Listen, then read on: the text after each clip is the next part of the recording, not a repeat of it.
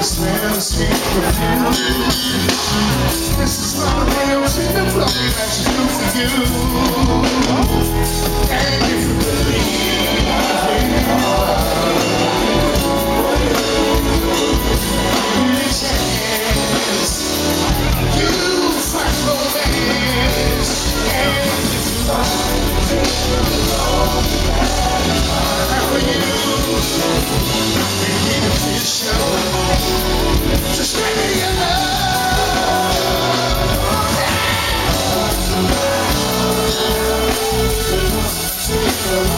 Please.